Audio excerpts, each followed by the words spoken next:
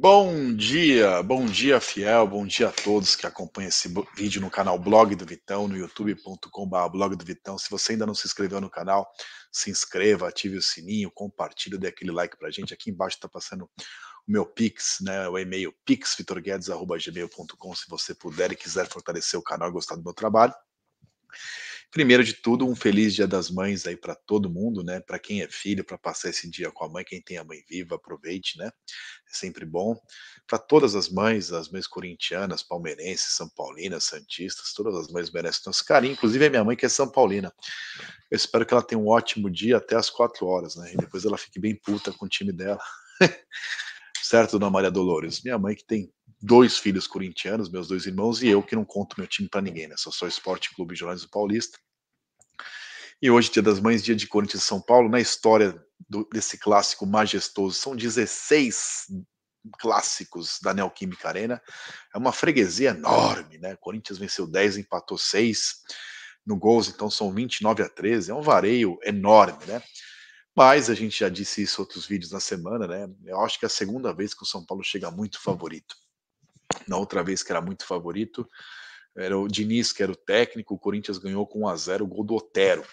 O São Paulo teve outra chance de quebrar o tabu. No ano passado estava ganhando bem, ganhando de 1 a 0 bem. Aí o Rogério Senna deu uma mão pro Corinthians, fez um monte de troca imbecil e colocou o Corinthians no jogo que foi buscar o um empate e tal.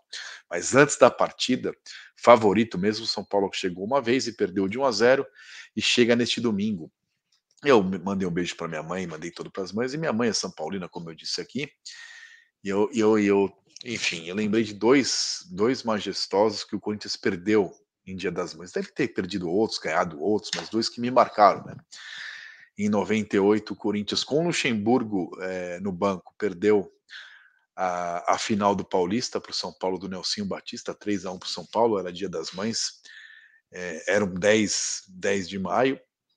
E outro que me marcou muito estava trabalhando né, no, no clássico, meus irmãos estavam comigo no estádio também, que também são jornalistas, tanto meu irmão quanto a minha irmã, e minha mãe morava na época em Caraguatatuba, é, São Paulina não foi, nenhum dos três filhos foi a visitar no Dia das Mães, porque eu estava trabalhando, eu não lembro se meus irmãos estavam trabalhando, foram só torcer no estádio, mas enfim, morávamos todos em São Paulo, né, então ninguém pôde passar aquele Dia das Mães com ela, e foi 5 a 1 para o São Paulo aquele dia, enfim, foi o último jogo do Passarela no Corinthians.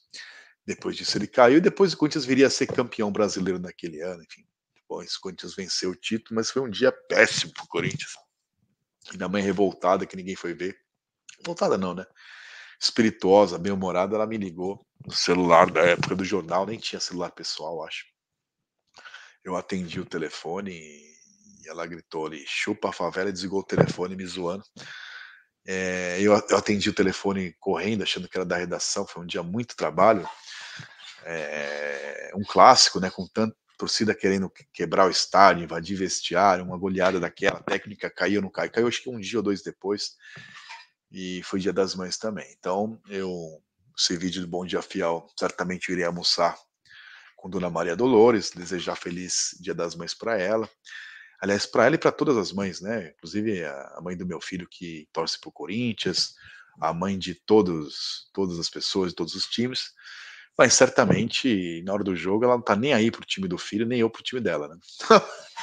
na hora do jogo de hoje, eu tô brincando desde o Dia das Mães, porque na verdade o jogo tem algumas coisas importantes, né? O Fagner completa 500 partidas, mas nas rodadas, nos jogos de sábado, o Cuiabá perdeu do Fluminense de 2 a 0.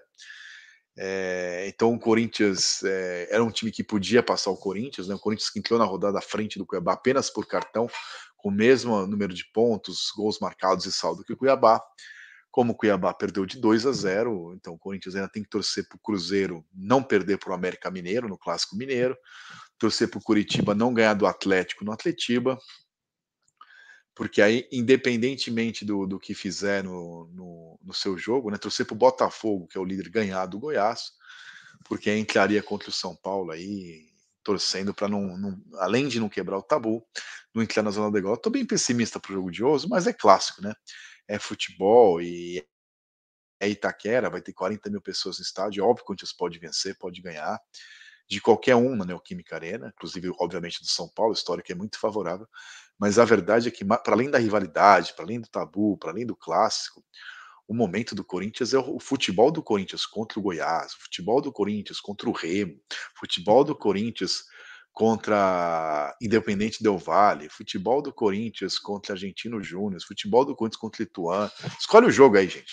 Mesmo contra o Cruzeiro, quando venceu na Neoquímica Arena, né? Venceu por 1 a 0 jogando muito mal e jogou mal contra o Fortaleza no 1 a 1 Se jogar mal de novo e vencer, tá tudo certo, é isso que o corintiano quer, né? É, mas aí, é isso, né?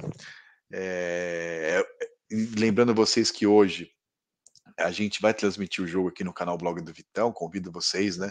É uma parceria que eu tenho com a Rádio Coringão, então é, antes do jogo já tem um pré-jogo, a transmissão da Rádio Coringão, que é retransmitida de forma simultânea aqui no meu canal. E quem também, logo de, o jogo acaba por volta de 6 horas, né? Hoje tem 200 de acréscimo, e às 7 horas, uma hora depois, porque eu vou fazer a live do UOL. Então, só às 7 horas aqui no canal Blog do Vitão vai ter o pós-jogo também com notas, atuação dos jogadores, repercussão do que disse o Luxemburgo, resultado, consequências. Espero que para estar tá falando de uma vitória do Corinthians, mas enfim, ganhando, perdendo ou empatando, estarei aqui para fazer essa live pós-jogo. Convido todos a prestigiarem aqui comigo é, essa live. Espero que seja uma, uma live um pouco menos triste que da último jogo contra o Botafogo, né? E Corinthians depois na quarta. E já tentando aí é, falar um pouco do jogo de quarta-feira também, que vai ter contra o Atlético Mineiro pela Copa do Brasil. Atlético Mineiro que vem de duas boas vitórias, venceu o Cuiabá por 4 a 0 e hoje, hoje não, no sábado, é, venceu o, o, Inter por 2 a 0 no Brasileiro, já está folga no Brasileiro e será muito favorito contra o Corinthians na ida. Né? Lembrando que o Corinthians vai precisar pelo menos empatar ou perder por um gol no máximo, obviamente se ganhar melhor, para chegar vivo na volta. A Copa do Brasil ganha muito dinheiro, é uma competição legal. O Corinthians não vence há muito tempo. Cássio, por exemplo, que está em 2012 do Corinthians para cá, venceu tudo, menos a Copa do Brasil, né? O Corinthians não vence desde 2009 ali com o time do Ronaldo. Então, que o Corinthians aí vai precisar fazer um bom jogo na quarta-feira, né, para avançar nisso. Mas é uma coisa por vez. É, não é muito cedo para falar em só 45 pontos e não cair, mas a verdade é que o Corinthians hoje está jogando um futebol de rebaixado, tem pontuação de rebaixado. E apesar do Palmeiras ter tropeçado para o Bragantino, o Fluminense venceu o Cuiabá, o Botafogo antes de jogar já tem 15 pontos, o Corinthians tem 3, né? É, não tem 4, melhor dizendo, né? É 11 pontos de diferença. Nesse momento não dá para o Corinthians pensar em olhar para cima. Não é com prazer que eu falo isso, mas é, é de olho na realidade. Gostou desse vídeo? Se inscreva no canal youtube.com.br blog do Vitão, ative o sininho, compartilhe e não esqueça, é, hoje 19 horas tem derby, tem derby não, tem live pós majestoso, conto com a audiência dos amigos, bom almoço dia dos mães e voltem aqui que o Corinthians deixa o domingo dos corintianos mais alegre. Até a próxima e vai Corinthians.